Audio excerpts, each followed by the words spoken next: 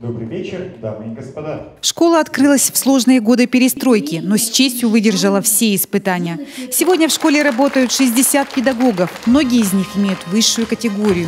Ученики этого образовательного учреждения регулярно становятся победителями олимпиад, спортивных состязаний, разных конкурсов. За 25 лет работы школа выпустила около 40 медалистов.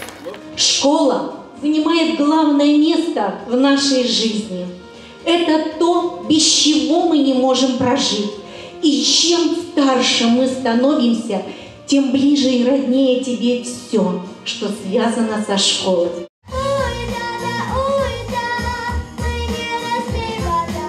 В честь дня рождения учащиеся школы подготовили концерт. Ну а подробности, как и чем сегодня живет школа «Юбиляр», о ее достижениях мы обязательно расскажем в ближайшем выпуске новостей.